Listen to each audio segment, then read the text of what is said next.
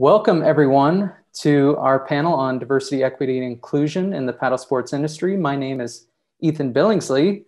I'll be one of your facilitators today. Uh, my role here at Colorado State University is that I'm the program lead for our adventure tourism graduate certificate. Uh, in addition to that, I moonlight as a river sports guide in the summer months, uh, a little part time fun gig. And so it keeps my uh, toes in the water, so to speak, pun intended. We are joined by another facilitator today. Natalie, you want to introduce yourself? Sure. Um, thanks a lot, Ethan. My name's Natalie Uy, and I'm the Director of Tourism Enterprise Programs here at CSU within the College of Human Dimensions and Natural Resources, uh, College of Warner, Warner College of Natural Resources in the Department of Human Dimensions of Natural Resources. Can't forget that Warner. I know. It's a bit, it's a, bit of a mouthful there. Um, but before we started, I just want to quickly introduce um, our department and what we do here and, and sort of how we relate to this space. Um, our department's very much focused on tourism and conservation and looking at the intersect of, you know, protecting and managing natural resources, um, sustainable business practices, and then also looking at sustainable travel and also outdoor recreation and building sustainable and resilient communities. So that's really a, a, the focus and the crux of what we do. Um, within the tourism recreation side, we have a number of different graduate and undergraduate programs.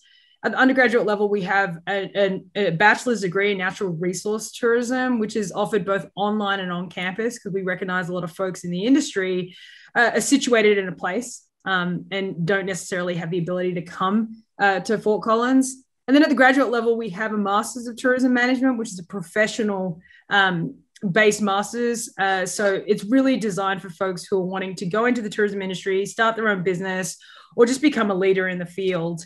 Um, and then more specifically, we have these niche area certificates, like Ethan mentioned, like the certificate um, in adventure tourism. We also have one in ski area management. Um, and also, it's, it's a little outside of the tourism realm, but it's related in terms of communications for conservation again, recognizing the importance of conservation, climate change, and being able to communicate that to a broader uh, number of constituents. Um, so again, those are offered online. Um, Wes, who is our communications coordination uh, coordinator for the department, he's throwing some links in the chat there. So if anyone on this call is interested in learning more about any of those programs, uh, feel free to to take a look. Um, but in the context of today's presentation, you know, obviously diversity, equity, inclusion is having its its moment in the spotlight. But this is a focus area um, that we're really serious about at the department and at the college level. You know, it's something we really seek to integrate in in all of our programs, in the curriculum, in the content, in the guest speakers we bring, in the multiple perspectives we highlight um, in a lot of our resources. Um, but at the college level, um, you know, I think part of the commitment of Warner College and Natural Resources to this area is that we've had multiple hires specific, uh, specifically, you know, designed to focus on diversity, equity, inclusion, uh, including our Director of Diversity and Inclusion, Dr. Ricky Frierson, who is on the call here today. And I'll hand it over him to do a quick introduction. Unmute.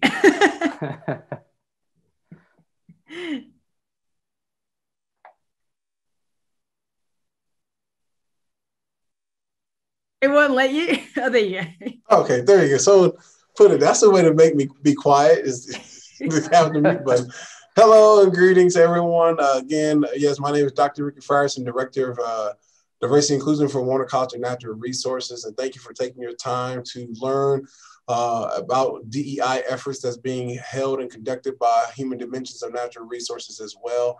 Um, as Natalie stated before, that this is not only a, a, departmental commitment, but it's a college level commitment as well, in which we are trying to be intentional and aspirational in advancing the goals and efforts of DEI so that we can be inclusive and, uh, and, and and develop an inclusive minded ideology, ideology as we move forward in curriculum and, and, and awareness to communities that we serve. And so, real quickly, I just wanted to kind of share on the college level two things that we're doing to really bring awareness to you, the students, on how you can be engaged and be a part of this activism and this awareness and education that we do to advance DEI.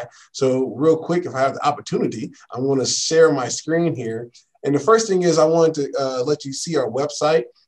And in our website, and I'll put the chat, uh, the link in the chat when I get done sharing the screen. But in our website, you'll see that we have um, this page and you'll come up about what it is about.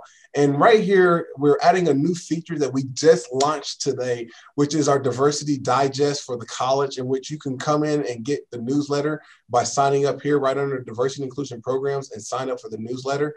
Uh, again, right here, but you, there's tons of resources that students can utilize at their leisure here with the Warner College podcast, training centers, videos. If you don't like to read like myself, you have that. But the very first uh, diversity newsletter we had is this one coming out that came out literally this morning.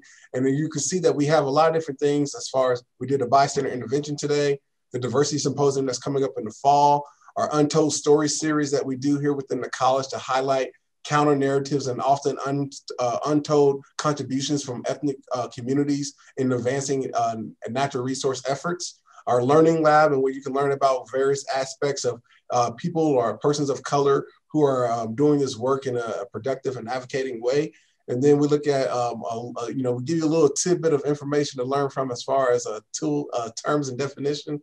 And then we try to do a community highlight where we're highlighting our partnership with organizations that are advancing DEI efforts and then we try to do a student spotlight. So if you, the student, have something that you're passionate about regarding DEI within Warner College, and you want to have your uh, story or your information and efforts shared, please let us know. And then you got that lovely guy right there at the end, at the uh, where I always brings an invitation. You know, you always put the, the dessert at the end of the at the end of the, uh, the newsletter. So with that, it was just a quick highlight of who we are, what we're doing, and again, the work that HDNR is doing is just an extension of the commitment that we have at the college level. So like you today, I'm here to learn and figure out ways I can be involved in nature as well, because my colleagues know um, I need to do better in being involved in nature and learn just like with our students. So I'm here to be a participant just like everyone else. So sit back and enjoy, and um, I will do the same as well. So thank you so much. And I'll put the link in right now. Awesome. Thank you, Ricky.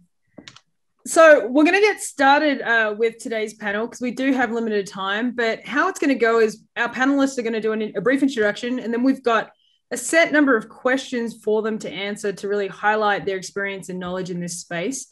But we're definitely open to, to questions uh, from students and other audience members. So throughout the presentation, as you think of questions, feel free to throw them in the chat. And we've got folks in the background who are going to be monitor- monitoring that and making sure that, you know, hopefully if time permits we can we can attend to all of them. Just some other minor housekeeping. Um, if you can just make sure to, to keep yourself on mute um, at all times that would be great.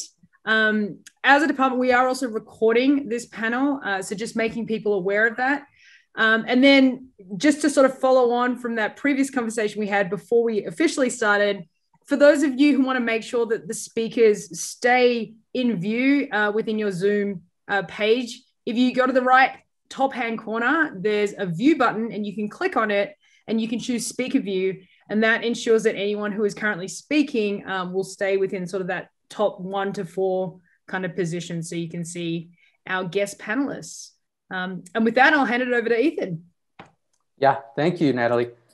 So a quick little bit of background on the paddle sports industry before we introduce our panelists. And I just want to throw out that this paddle was in my office before this panel, and I did throw it up there as a little extra decoration uh, for the panel. It's a bit of an antique, but I hope you enjoy it. Okay, little background on the paddle sports industry that uh, might provide some important context for this, this conversation. So I pulled some information from the 2019 special report on the paddle sports industry that was compiled by the Outdoor Foundation which if you're not familiar is affiliated with the Outdoor Industry Association, one of the largest trade groups uh, representing the outdoor industry. So in 2018, 22.9 million Americans, or 7.6% of the US population, took to rivers, streams, lakes, and oceans to participate in at least one paddling activity. Yay. Paddling participants tend to be Caucasians who have attended or graduated from college. They are best represented by an average annual household income of at least 75,000, a demographic characteristic that has steadily climbed since 2014. At 53%, males make up a slightly larger percentage of paddlers than females. Male participation, however, is declining at 1% per year.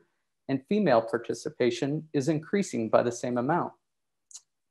Although the vast majority of paddlers are Caucasian, there is an opportunity to engage minority groups, which are largely underrepresented in paddle sports. While Caucasian participation has remained relatively unchanged since 2015, Hispanic participation has increased by almost 3% since 2013. That's more than 773,000 new participants in just six years. African American participation has also increased incrementally by about 1% per year. There's lots more data and stuff that we could dive into to, to provide context, but I think we'll get quite a bit of that from our, our panelists today. Uh, if you're interested, that report again was 2019 special report on the paddle sports industry uh, that was compiled by the Outdoor Foundation. If you want to go search that and, and check out all the data that they've provided. And without any further ado, I'd like our panelists to introduce themselves. And I was actually hoping that Emily might kick this off uh, and share a little bit about yourself and your background. I'd love to. Why, Thanks, why Ethan. Sports. Great. Um, I have to just first uh, express some strong gratitude for having and hosting the space. Uh, for the other panelists who are on here, I feel honored and somewhat intimidated, if I'm being real, uh, to be with uh, such experience on here. And I'll just take a couple of minutes to hopefully share some insight and background that you wouldn't necessarily see in my bio, um, make it a little bit more real. So I was born and raised in Alaska uh, for the first 13 years and um, came from a, a, rafting industry on my mom's side. And so um, I, I feel like I, I had like parallel rivers running to each other. And um, I came to paddle sports fairly late in in my in my life. I was the the last of my cousins uh, on that side to become a guide, and kind of took my own time. And always thought that uh, rivers really symbolized a lot for me. And I think also that um, aligned with my journey uh, to diversity, equity, and inclusion work. Um, I came to Colorado in 2001 and became a guide in the Grand Canyon. Um, Ethan, I like how you talked about, you know, dipping your toes in the water because that's that's my side hustle that keeps me grounded and keeps me remembering amongst billion year old rocks that uh, we are all pretty inconsequential um, and our time on the on the world does matter. So um, I say that I came from a, a rafting family um, to really highlight something that I think needs to be talked about as accessibility to the rafting industry, to the paddle sports. That if you had someone to paddle the way before you, it feels much more possible. And that nepotism really is often found within our sports and, and having guides, mentors, you know, co-paddlers, whatever that looks like, is really, really important to broaden. And so, you know, um, uh, I think I'm just seeing Dr. Ricky, but because I'm, you know, Dr. Ricky was talking before about you know t- telling the unspoken stories, and I think that that has been extremely important to why um, I do what I do with Engage Coaching and Consulting, and how I kind of got my paddle in the water um, in the Grand Canyon, and uh, was able to work pretty closely with some leadership in some different uh, organizations and um, outfitters that wouldn't be accessed points um, otherwise. And uh, my parallel journey is that, you know, I, I guide in the during the season and I work at Colorado State University in training and development um, over in the Lory Student Center. I work a lot with student leadership. I've taught in leadership programs for 13 years and being thrown onto some really tough crews, I was like, man, we could do some different things around training. And, uh, you know, I also appreciate that Natalie brought up the that DEI has its its time in the spotlight, and I think that that is such an important um, reality that you know as someone who's been really committed to this work for over 15 years, I came out about 20 years ago, and um, my partner, I'm in a multiracial relationship, and so there's just a lot of really close to home uh, parts of this story that's important and so how do we how do we take this time in the spotlight and make it sustainable uh, so that we utilize this and get people excited and and accessible and one of my favorite things is to make uh, you know, to take the boo out of taboo and to really talk about those those important topics that do. So that's really the goal of Engage Coaching and Consulting. Um, we really try to work.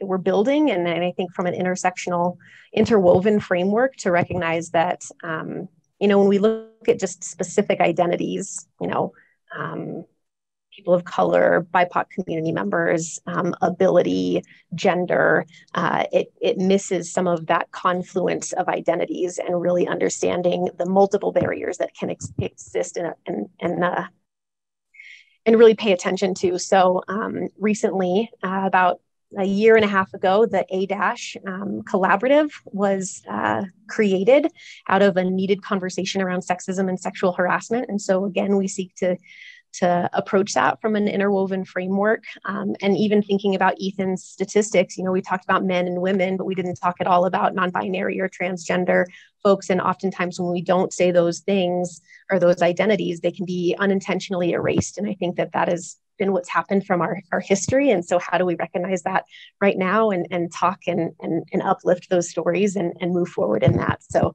again, just really, really honored and, and excited to be here and, and learn from my fellow uh, colleagues. Happy to answer questions along the way. Quick follow up question, Emily. Will you be down in the Grand Canyon this coming summer? I will. I've got two trips in July. Excellent. Wonderful. And then uh, why don't we have Antoinette, if you could uh, give a little intro, that'd be wonderful.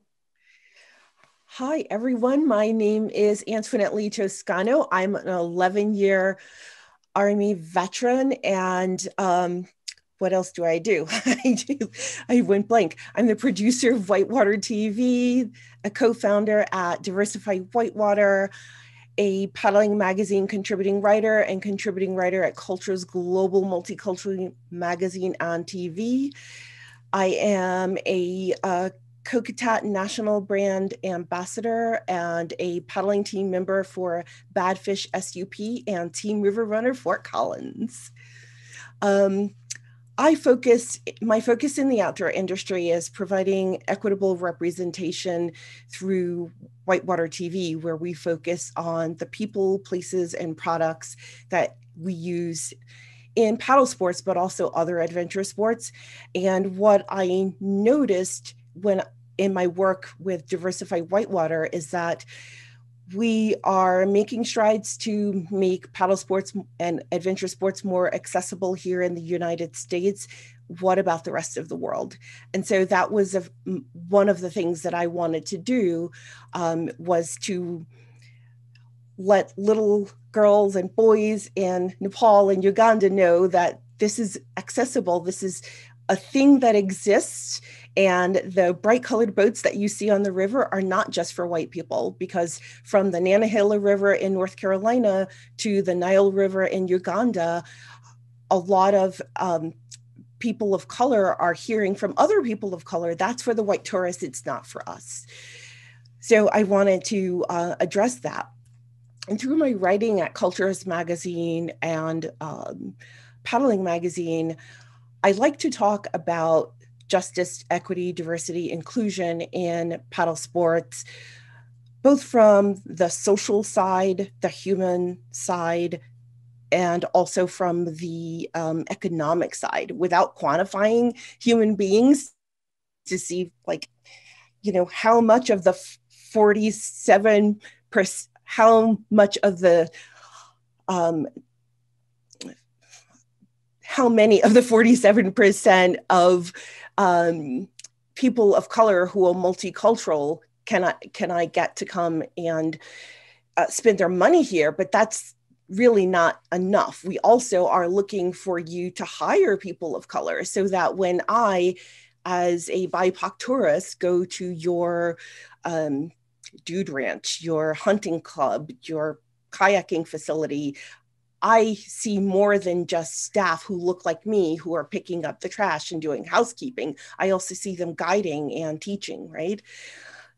Um, and as my in my membership in uh, on paddling teams, one of the things that I like to do is to talk about how a person with a brain injury can have hidden differing abilities like myself and um, learning how to kayak, learning how to climb, how to do a technical climb after having a rappelling accident was a big deal. And um, when someone is teaching me, I tell them that I might look like I understand the words that are coming out of your mouth, but my brain can't tell my body what to do, and I need a little extra help. And not everyone with a hidden disability or a visual differing ability can feel comfortable saying, I'm a little bit different and I need you to help me in a different way.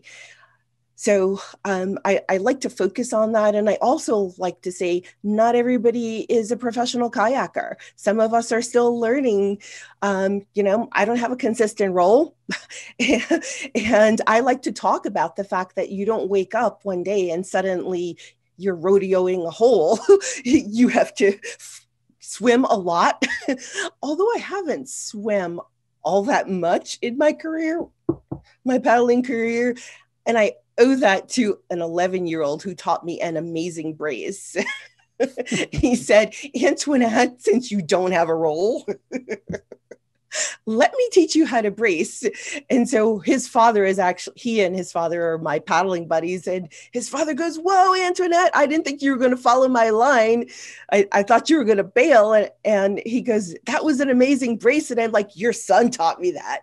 so the importance of having young people out on the river who can teach adults and other young people things um, be, because that um, boy, he's now 13, not 11, and he's a Diversify Whitewater um, uh, instructor and safety boater for us, right? So he's helping other young children who look like me to do what he does, and he's amazing. so, and uh, through Diversify Whitewater, we were founded in 2020, and since then, we've uh, provided two free Paddling Skills Day events, river trips, and paddling instruction to Black, Indigenous people of color and allies because there are some um, white people who can't afford instruction and, and come from really challenging circumstances too. And we don't want to be the thing that we're trying to change. So um, we introduced 115 Black, Indigenous people of color to paddle sports over two free events. And in 2021, we began last weekend our 10 event series this year, regional events, and we're super excited to um, share the love of paddle sports with more people. Thank you. Wow, that's incredible, Antoinette. 10 events. I know what you're doing all summer. uh, David, you're up. Well, hello. I just wanted to, you know, thank everyone for allowing me to be a part of, of this event. I'm very grateful to, to have the opportunity to be here.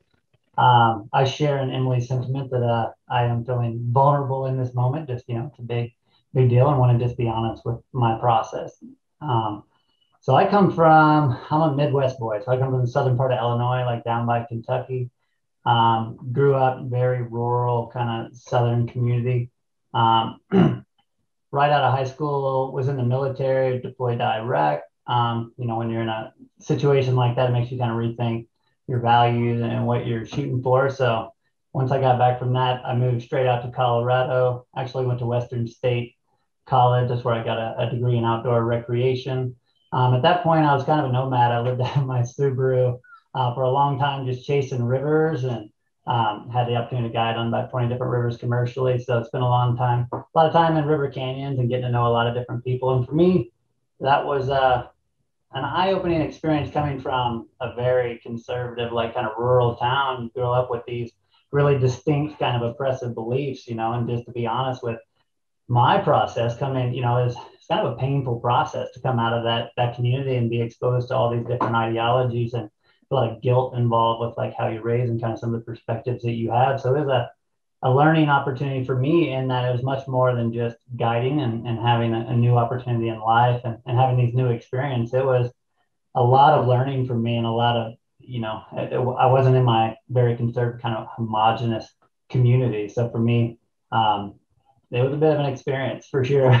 um, and throughout that guiding, you know, experience, I, I got connected with NOLS and Outward Bound and was able to become an instructor. And at that time, got really involved with their, um, at that time, it was their DI curriculum and um, just became really passionate about, you know, I was trying to, I felt at that time kind of making up for, for my experience as a young adult and like, how can I be this agent of change and kind of fight back against, you know, some of the ideologies that I grew up with.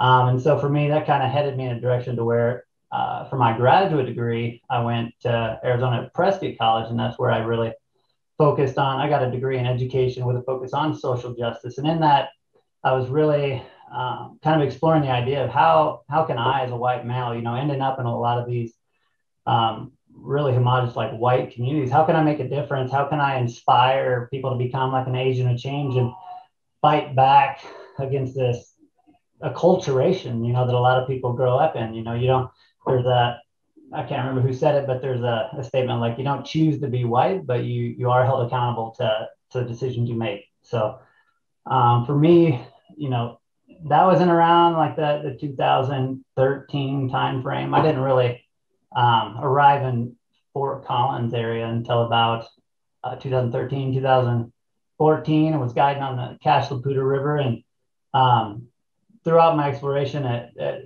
um, social justice concepts in Prescott, I really was trying to find a way like, how do I, you know, how do I make up for lost time and not advocating for change? You know, I mean, at a young age, service was so important to me. I, I joined the military like literally a month after 9 11 happened and, you know, just want to make a difference. So I was always trying to find like what was my avenue to, to join all these passions and just be be that agent of change that I, I so much wanted to be.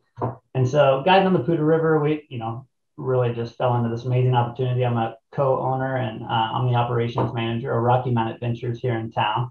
And, uh, and so through that process, I just made just really amazing connections with, you know, having the opportunity to be with um, amazing organizations like Diversify Whitewater from, from the very beginning, you know, um, being able to support their, their initiative on the, the Poudre event, and then also being able to just do everything I can to, to make a difference and be available to create opportunity um, for people to, to get into these outdoor spaces um, on, on, the Boyd Lake event. Um, currently serving as a board member for Diversify Whitewater. So currently, um, you know, I'm a father of three and uh, an owner and a, a, river outfitter. And so um, I don't can tell, my, my hair is definitely turning grayer by the second um, with the three kiddos.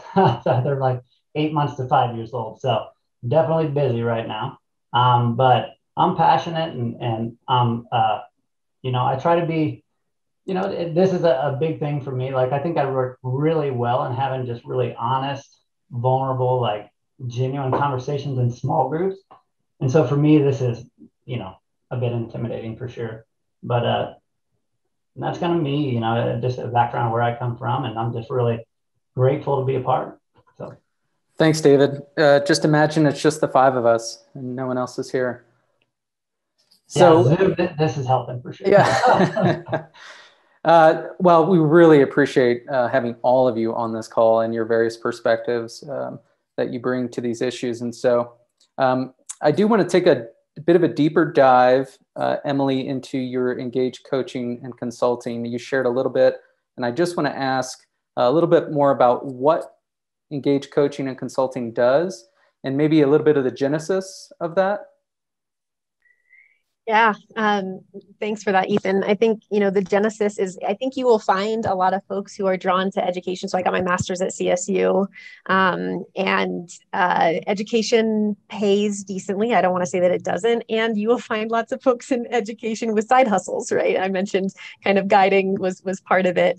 Um, I think also just the access to the education that I got around diversity, equity, and inclusion in leadership, in organizational change management in communication um, that it just prepared me differently. I have many hours of facilitation and training skills kind of under my belt because of the opportunities that I've had, and so um, being able again to to run run parallel um, with this outdoor world, um, specifically within the river industry, um, there was a need that came up. And so uh, I have to really give a shout out to AZRA, Arizona Raft Adventure, um, who really encouraged engaged to start existing um, in it was this vision that came to fruition, and now we're four facilitators strong and uh, work from a, with a variety of for-profits, nonprofits, libraries, public health, um, and and we really our genesis was within the outdoor industry, and so um, I have a lot of of honor there. But it can be anything from facilitating difficult conversations around how to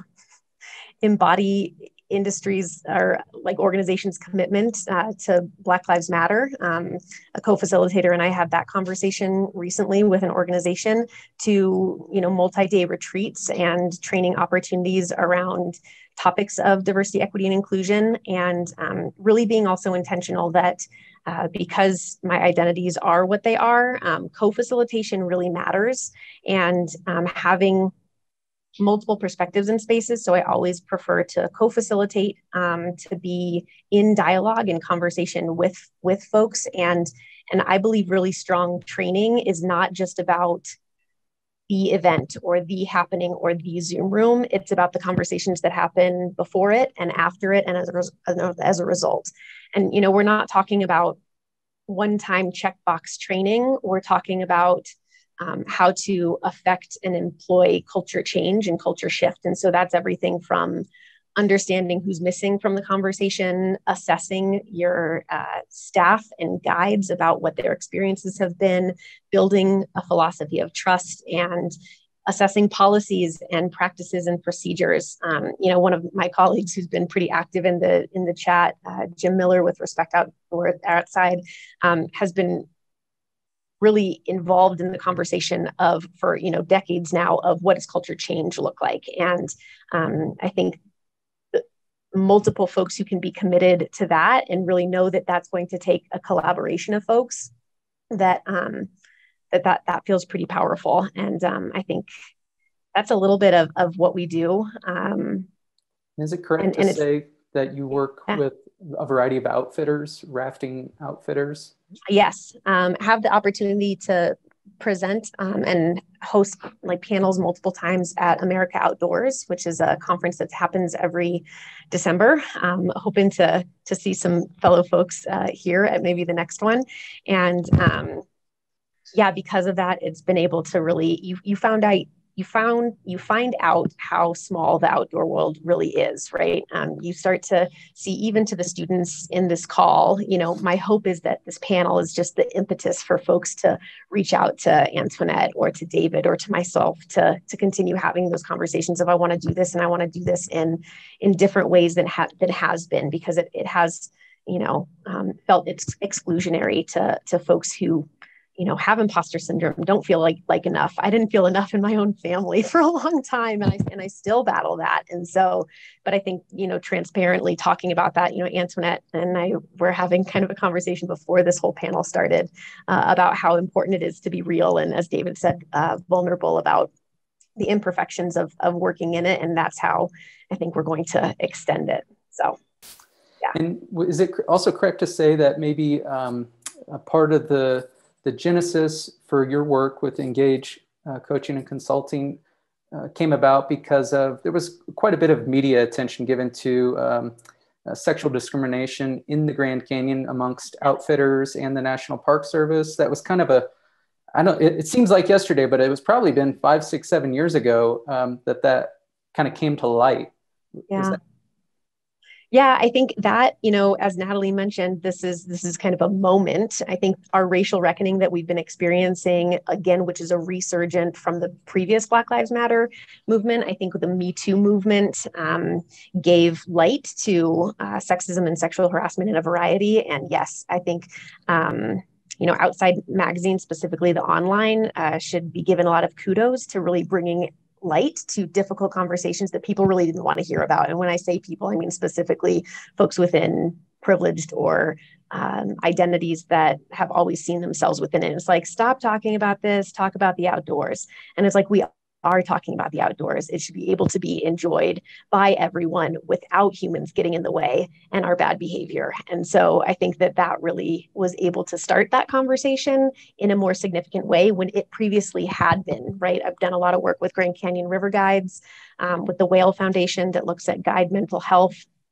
And um, so much of it is around being pushed out gaslit, which means, right, being told you're crazy and you're not experiencing something when you very much are experiencing something, um, and trying to kind of keep the status quo and um, whether it be a boys club or whether it be a hazing mentality of we went through it so you have to go through it too and and how do we create codes of conduct for our passengers who also take advantage of environments and um, the, the class identity within seasonal work that can come up.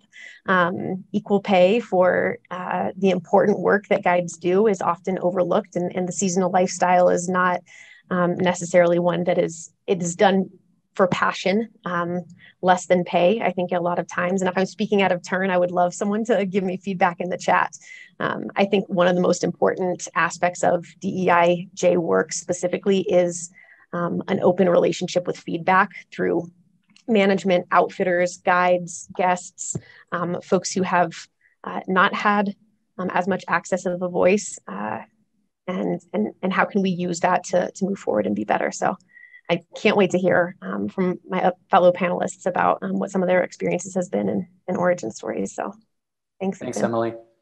Thank you, Emily. Um, Antoinette, you know, sort of building on that, you know, Emily brought up a, a number of different, you know, hot topics and issues, you know, related to uh, paddling and diversity, equity, inclusion, and justice. And I was hoping you could share a little bit more about how you became involved with Diversify Whitewater, because I'm sure it exists to address many of the things that she's just raised. So some of them yeah a, a lot of them not not so much the sort of the industry component uh, so what i am doing and i'll talk about this is addressing it from a whitewater tv perspective um, but in diversify what so with the origin story of Diversify Whitewater, the short version is that I was at a, volunteering at a kayaking pool session. I couldn't participate because I needed to have my shoulder and bicep reconnected. Um, so I was there in a voluntary capacity. And uh, this was two weeks before the lockdown in Colorado, the pandemic lockdown in Colorado. And in walks this Asian American woman carrying a kayak. And she set her boat down and we looked at each other and we had the most awkward stranger hug. I don't even think we said a word to each other. We might have said hi and then we hugged because we were just so excited to see another woman of color that also paddled. And so we met, but didn't really have an opportunity to connect. But I thought, well, maybe she'll be back and you know, we'll be on the same paddling team through diverse uh, through Team River Runner because uh, she was considering volunteering there. And so then we went into pandemic lockdown, of course, and a few months later, the um, um, Black Lives Matter movement um, really started to, I think, for myself resonate with me in terms of what more can I do as a person of color to ensure that nature is um, the, the human right of access to nature is accessible to everyone. And so I did what I do a lot of or most is I started writing. I pitched an article, a series of articles to uh, Culturs Global Multicultural Magazine, and it's a five part series on the lack of diversity in paddle sports from a global perspective because it's an international magazine. And then Lily contacted me, and she had this great idea of um, I think we probably read the immersion research community letter in response to BLM uh, community uh, letter that they released probably about the same time. And so I was pitching this article, and meanwhile, she was brainstorming what she could do um, to promote diversity in paddle sports for people of color. And she said, Hey, I've got this idea about creating a BIPOC paddling club in uh, color or group in Colorado and um, providing free instruction and river trips and are you interested and i'm like heck yeah because i started helping people um, to find uh, their way to reconnecting or connecting to nature through paddle sports in 2014 because in 2013 paddle sports helped me ditch my walker and my service dog. I was really ill in 2013 trying to recover from all of the issues related to a broken back and a brain injury and paddle sports got me out of away from my walker and back into life. And so I started sharing that with other veterans and other people with disabilities and talking and writing about it.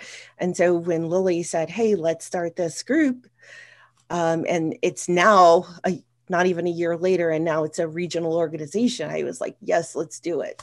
I thought it was brilliant that two BIPOC women would be doing this work in paddle sports because we are the least likely people that you would run into on the river.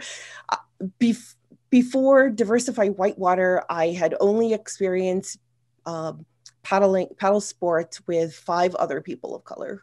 And i count. The reason i count is because when i'm in a beautiful location and i'm just enjoying all of my river buddies and the experience the sights the sounds the smells the, the freedom of being in nature in the backcountry i mean like backpack country.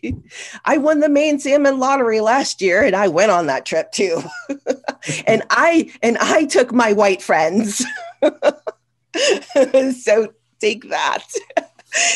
so anywho, um, where was I going with that? I don't know. But when I'm in the backcountry and I'm just kind of like, you know, when if you've never been on the main salmon and you're on this private beach and it's just you and your friends and you've been kayaking or rafting all day and you're just having a great meal and the stars are brilliant and there's no sounds except for nature and your talkative friends. Just kidding.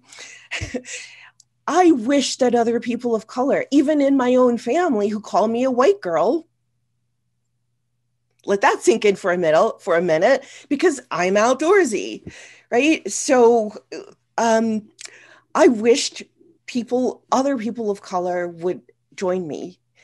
And um yeah that kind of saddens me that so systemic oppression created this environment and dr um, i don't think she's a doctor but beth uh, collier who's a psychotherapist a nature therapist out of the UK says when um, people of color came to cities like London, for example, and they saw no blacks, no dogs, no Irish. Guess I wouldn't be welcome because I'm black, Irish, and I have a dog. But um, they, they saw these signs in the city that says we don't really want you here. So, and in the US, they saw whites only, right? And so, even in my own family, I talk about this in a DEI panel that I hosted on Whitewater TV. My parents, when I told them before I started kayaking, that, well, let me back up. I'm born and raised in New York City, and I've never considered myself a New Yorker. I camped in my New York City backyard with my dog because I just always wanted to be outdoors. And my sisters would say, You know, you're black, right? We don't do this. so that that was my life. So I went to Virginia to hunt and fish and ride horses and farm with my cousins because it really felt inaccessible even in a um, a, a black home, right? I, I wasn't free to be myself without judgment. So anyway, I hope I answered your your question in a roundabout way. definitely. No, definitely. Thank you so much for sharing all of that. Thank you. Hey, David. Uh, I'm really curious um, how you kind of you started making these connections and you chose to pursue social justice in your graduate uh, degree and, and work, and then how it's then impacted your career in the paddle sports industry. And I, and the deeper dive part of that, and I can repeat this later if this is too much, but um, I'm curious how that you're then operationalizing uh, DEI at Rocky Mountain Adventures. Yeah, I can kind of talk to those quickly here. Um, you know, being raised in a conservative community, uh, you know, I grew up with a family uh, of color, and they were like my family, you know, my extended family, and uh, it was kind of it was kind of tough. I, I grew up and I had all of these um, kind of, you know, you're acculturated in these oppressive ideologies and, and, they just didn't really fit. So for me, it was like, well, they're different, you know, like they don't really fit into to some of the understanding of the larger community. And as I got out of that community, I, it's just, I, I had an understanding of what that family experience kind of in my, in my community, the limitations placed on just uh, the overarching ideologies of a, a, conservative kind of rural town in, in the Midwest. And um, for me, I, I, just, I had, uh, I, I felt like I owed it to them. I mean, these are, this is my family. I grew up with them. I love them like, like they're my own. And um, it was just kind of a, a jump start into trying to make a difference and, and being the person that I want to be and making a change for those that don't have a voice and have been um, you know, as Antoinette said, like systematically oppressed over, over generations, you know.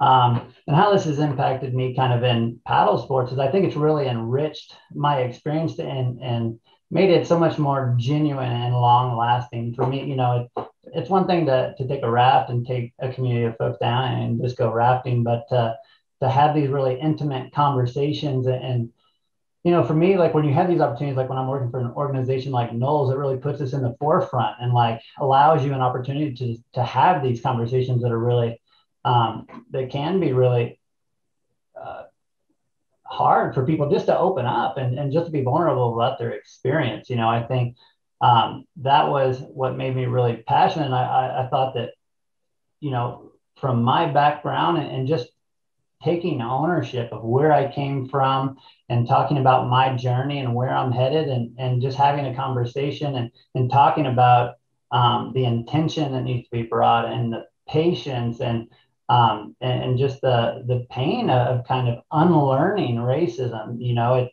um, I think just being able to work in small groups and it's just really enriched um, my life and my community and opened so many doors to just um, becoming an advocate for change and and um, raising really you know raising my family in a way that that we continue to to grow and and, and make connections that will advocate for people that, that don't have a voice or haven't been given a voice or continually disenfranchised by systems in place. And um, you know how I'm bringing that into to my experience as a co-owner and, and, an operational manager here at Rocky Mountain Adventures, I didn't see so much opportunity to connect with with um, organizations like Diversify Whitewater, and, and I hope to in the future. Um, you know, we're we're in the third year of ownership here, so it's been kind of a shotgun start with COVID and everything. So we're you know down the road really excited to.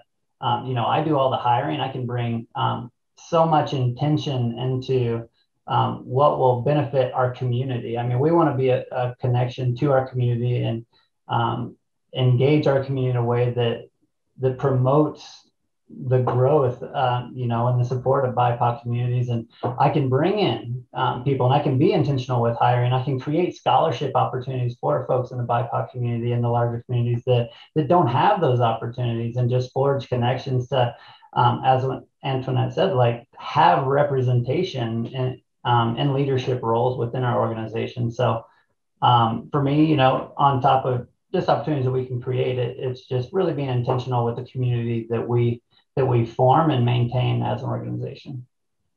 So well, and I, I know that, that and in, in case I miss this, but I'm I just want to highlight that I know RMA has been uh, very active in their support of Diversify Whitewater um, and in providing, uh, I think, support at events, whether that was gear or, or other types of support. Um, and so I just want to, to highlight that that has been one uh, way that I think RMA has really kind of supported these efforts. And uh, feel free to add on to that if. if yeah, absolutely. I, I was so excited to, to, to, be a part of Diversify Whitewater and Poudre Canyon and be there in whatever capacity I was needed and, and forge connections that I think, you know, creates a foundation just to build the, this community into something that, um, that we all look forward to, to it becoming, you know, and then at Boyd Lake, I mean, there's no telling what I look like driving down the, the the highway, the interstate, just dragging all of this river equipment down and then throwing it out and blowing up all these rafts. And um, so, just we're excited as an organization to just assist in any way possible just to create opportunities for communities that have had over time just limited to no access to, to these opportunities so for me i want to um, just be able to continue to just grow and forge these um, these relationships with with folks like Antoinette and Diversify Whitewater and, and the local community. So, thanks, David. Yeah. Thanks for sharing because you know a lot of our students you know are interested themselves in running their own organizations or they're wanting to go into operations and make a difference and the question's always how you know we we we fundamentally believe that more needs to be done in this space but how do we do it so that is really helpful um, but building on from that, then, and I'm going to open up this question to everyone. You know, what are some important lessons that you've learned in the work that you've been doing in this space um, that you can share with our students and the rest of the audience here about how they can make a difference and how they can help create a more diverse and equitable industry? Anyone's willing. Anyone can go first. Yeah. I'll take that question. One of the things that I am learning um, so I'm a former IT CEO, so in addition to be a freelance writer, and um, I still consult in a number of industries, but one of the industries that I consult in is also the outdoor industry with America Outdoors and in with private com- uh, uh, companies. And the thing that I always knew, but it really hits home, is that it is a delicate art to implement DEI at any organization. Um, as involved as Rocky Mountain Adventures and David Terry is, and um, the rest of his organization, they very seldom talk about it, right? and it's because and i don't want to put words in their mouth the feeling that i get is is that an organization like rocky mountain adventures or Kokatat, for example or werner paddles and astral footwear and liquid logic and immersion research and so many more in this industry. They've been doing so much work quietly and yes more needs to be done together this grassroots effort of industry leaders, community organizers like myself and Lily Durkee, who is a CSU PhD student, if I forgot to mention that.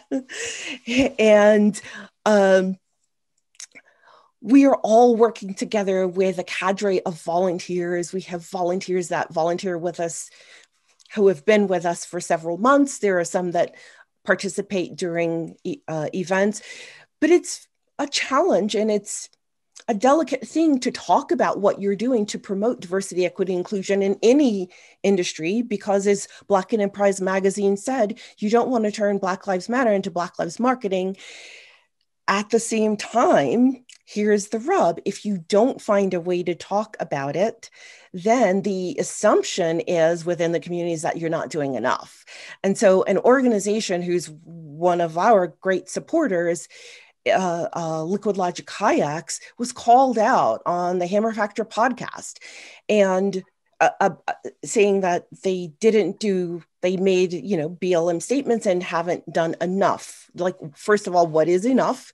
And second they've been a supporter and we didn't contact them. They contacted me and said hey Want to get involved. How do I do this? I, I don't know, really know where to start. They were very vulnerable about it, but they've been there with us, opening doors, providing gear and apparel and discounts off of coupons, so uh, discounts off of kayaks, so that people who come to our events and say, I love this sport. This is amazing.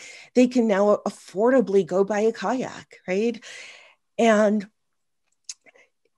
it's interesting to hear someone uh, or an organization like Liquid Logics or like RMA um, to be so involved and so committed with time and resources.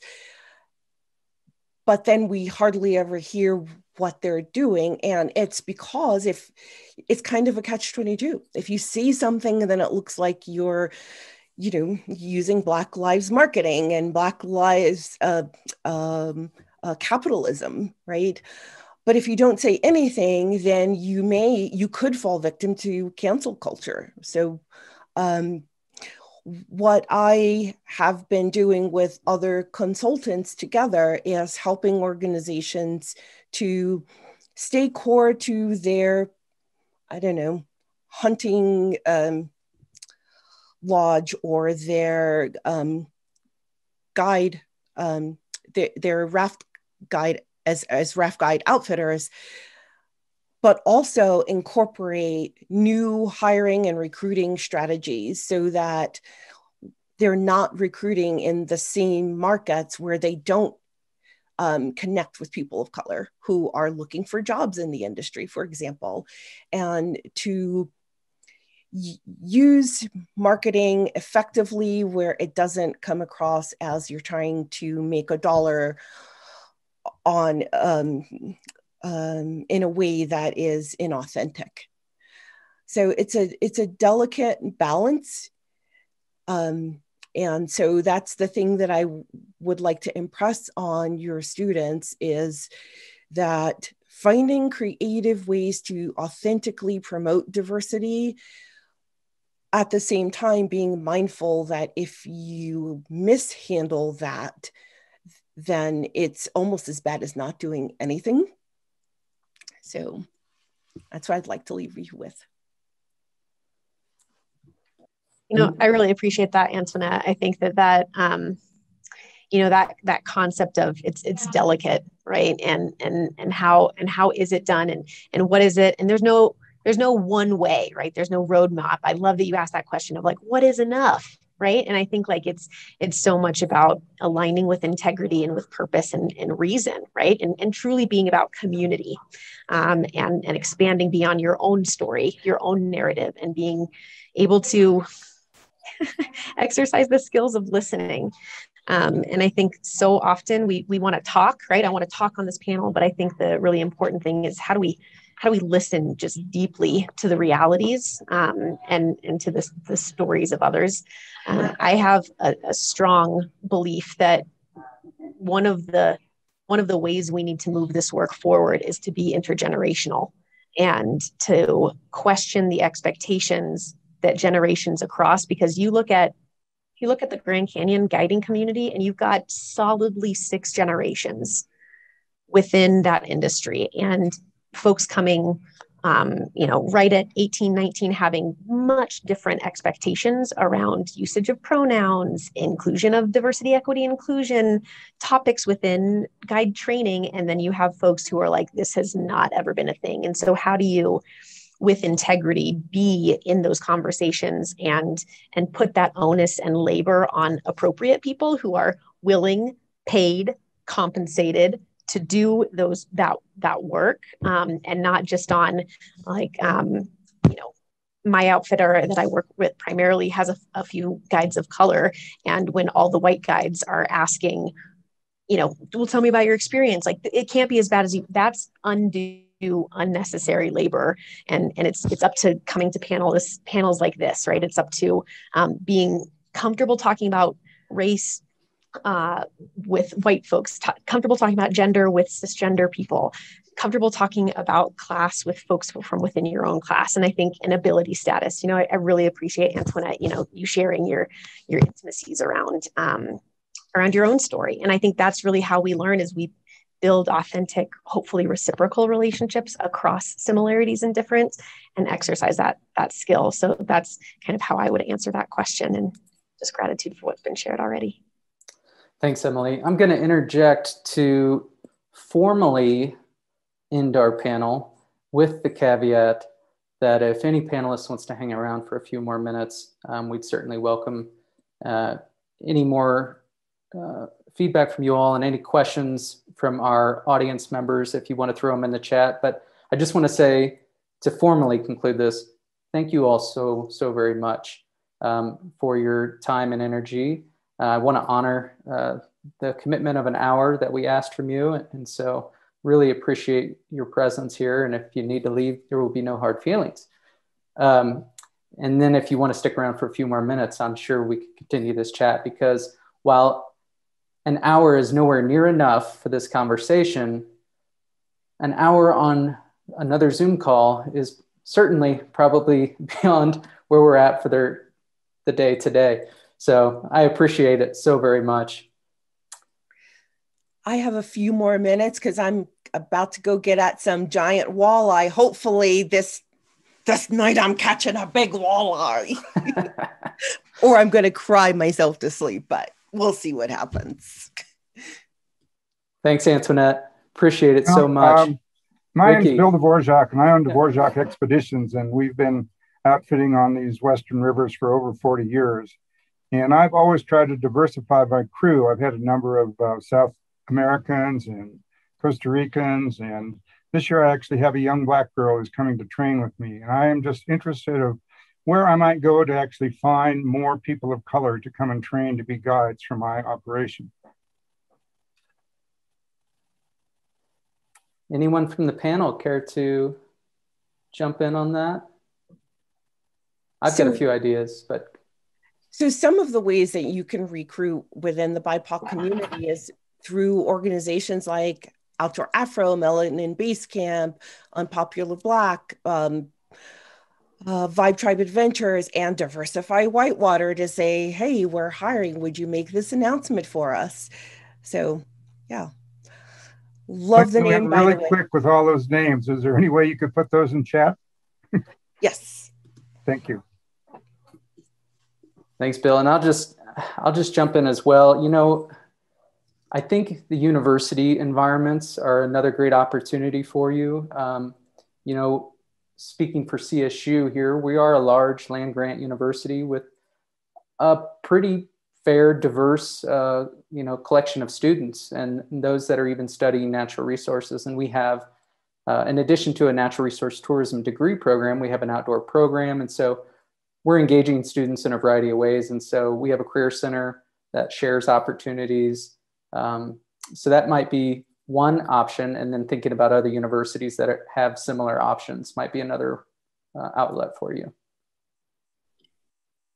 Ricky, did you want to jump in? I just wanted to also quickly add to that um, that you know more and more universities are starting to add you know individual degrees or courses or minors that specifically look at diversity, whether it's in the outdoors, whether it's in conservation and other spaces. And so looking for those kinds of programs as well, you may find individuals who come from more diverse backgrounds, but are also interested in the outdoors or conservation and, and, and paddling as well. So. Okay, great. Can I jump in here? All right. Uh, first and foremost, I think this was a wonderful panel um, information that was being shared. And just, uh, I heard a couple questions and I just, you know, the director and me had to, to respond to some things. And I think, you know, one thing that we, we have to be mindful of is that, um, you know, one statement I always share with our faculty and staff within our colleges: never let tradition be a prisoner of innovation.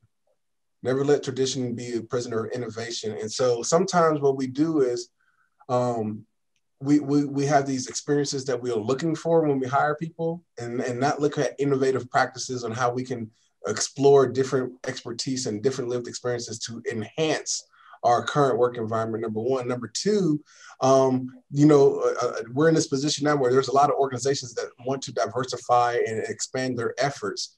But I will caution organizations when you say this because when you say that, that's like saying, well, I'm building a bridge and I'm waiting for people to come over. But you need to cross the bridge to the communities that you're trying to connect with to let them know that there's opportunities there. If you're just saying we have an open sign and that's it, that's not enough marketing. And so, you know, um, the, I want to give kudos to Natalie and, and, and Ethan because, you know, one thing that I've been really big on is intentionality.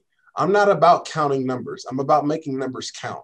And so, what are you doing behind the scenes to first make yourself friendly to the communities that you're trying to reach out to, and then invite them in to make these things? You know, there's a lot of work that Natalie and Ethan did to go out to these communities, go out to these organizations, meet with these individuals, form genuine relationships that they know that we care about what they're trying to do and give that platform and then use our resources and platform to let them edify their skill sets Number three, I think a big thing is that for some, it, to the life of me, it still baffles me. We do not utilize the leverage of partnering with tribal colleges and HBCUs, historically black colleges and universities. There are 17 different natural resource programs across the uh, historical black college and universities. There's 22 natural resource programs across tribal colleges. If we just reach out to those universities and do a little Google search and just type in natural resource program in tribal colleges or natural resource programs in HBCUs, you'll get a list of organizations that are minority serving that will then you can go and advertise what you're trying to do, what you're trying to enhance, and they will let you know whether or not they can. Because one thing about um, the the demographics of minorities going into these spaces that we can sense BS. So you got to be genuine. You can sense BS. You know when people say, "Oh, we just want to invite you to the table," and it's like, "Yeah, you want me to invite to the table, but you don't want me to dance." You know, like let me put my song track on. You know, let me choose the song I want to dance to as well. Those kind of things, and so you know, make sure that when we're when we're trying to expand these out, how are you doing it in an authentic way? Because again, we're not about trying to make the numbers count here at, at Warner College. We're trying to count. I mean, we're not trying to make the uh, we're not trying to count numbers. We're trying to make the numbers count. And so what we're trying to do is it, it does no good to retain or re- recruit and get more money and you have holes in your pocket. So you got to figure out internally what can we do to justify and, and make sure that the experiences of one or two is, is, is equitable, is fun, it's a positive experience, and then they will go word of mouth and spread that out.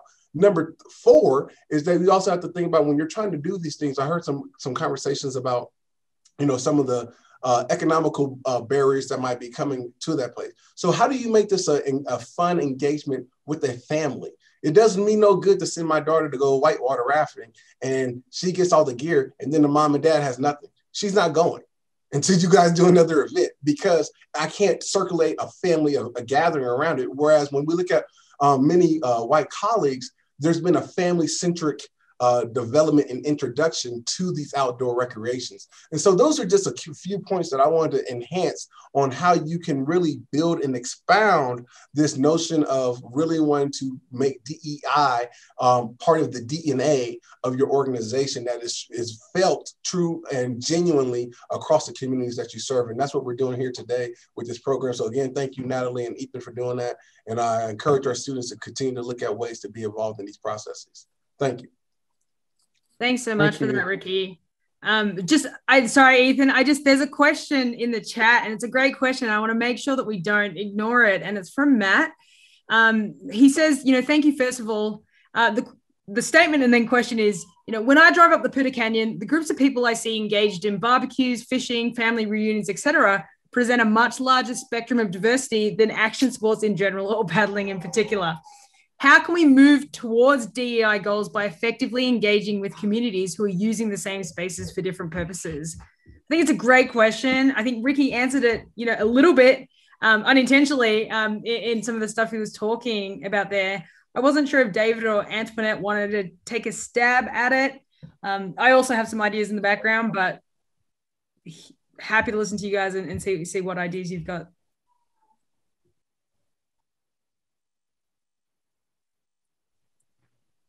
Yeah, I'm happy to jump in. I think, uh, you know, there is a lot of representation up in Poudre Canyon. And I think, you know, I would be lying if I sat here and said I have all the answers. And I think, you know, what our intention is, is to, to move forward in a way that is sustainable and not like Antoinette said, is just to put your name out there and really, you know, have nothing behind the words that you're saying, you know. So we want to be intentional moving forward to, to create these relationships that, that can be ongoing and we can, we can build from them. Um, but I mean, I, I think it goes back to, to forming the, the connections that we discussed. I mean, when we operate up there, just uh, continuing to get our name out there and, and, and to really be open and honest to, to a discussion about to hear from the community and, and what the community needs and how we can bring that into our organization and, um, and, and move forward in a genuine and authentic way. Matt, I, I want to also add, you know, my experience is not within the paddle sports industry by any means. Um, I'm much more familiar with the ski industry, and it and it, this makes me think about an example. It, it's a very similar situation we've seen with with ski and ski areas, particularly those that are located near urban centers where there is a much more diverse population. And one one way the ski industry has started to to move into this space is recognizing and welcoming those that come for snow play. So they're not coming to ski or snowboard because that's a step too far. You know, the, the, the jump from from never seeing snow to all of a sudden getting on a ski or a snowboard is is challenging. But a lot of these families come just to experience snow, to make snowballs, to build snowman. You know, and, and I can see a similar situation potentially. You know, with what you're describing up at the Poudre, where you know the first thought foremost isn't to to get the family out on a raft and go rafting on the river. It's it's just to experience the river first in a very simple way, whether it's having a picnic right next to it, you know, dipping your toes into the water, that kind of thing. Um, but the ski industry started to make space for it.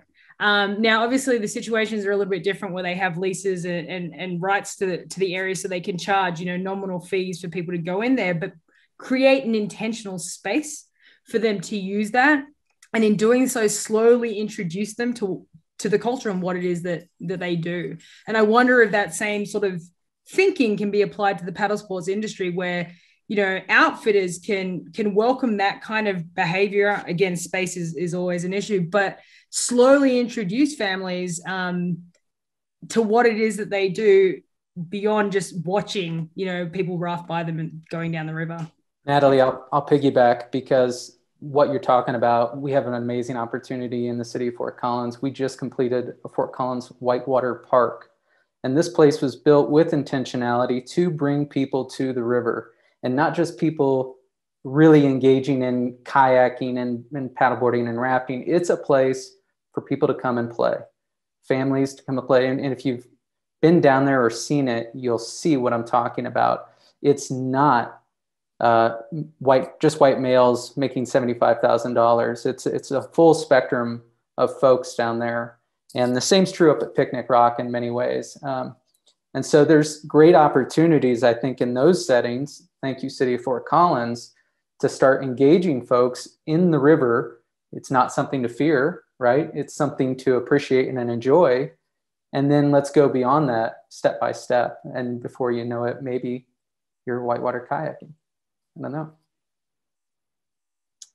Yeah, and we've really been intentional to try to establish a relationship with the city to give us an opportunity to work with local communities down at the play park specifically. And, you know, where we we are a resource to have these conversations and and bring them in and, allow us to build as an organization and as a community awareness of, of not only the the risk involved around hydrology and the, you know the river itself, but um, to introduce ourselves just a, as a, a, local resource and, and, start to forge that connection with community members that that um, it wouldn't be done without intention. Like I I, I truly uh, appreciate the the concept that was brought up about you can't just build a bridge and say come on over. Like you got to you got to cross that bridge and bring people over. So I mean I think that's what we look forward to is like getting just getting our hands dirty and get out in the mix and, and meeting and greeting and getting our, our name out there to to say we're we're excited to start the conversation and we're here and we, we want to be a part um, uh, you know of a more positive future so i think at this point uh, we're going to formally formally end our meeting i uh, really appreciate everyone's attendance today i know some of you were voluntold uh, but many of you also joined us on your own and i just so appreciate the opportunity to, to have you here and to engage in this conversation and especially to our panelists. Thank you so much. Uh, Thank you, David. Have a wonderful evening. See you on the water.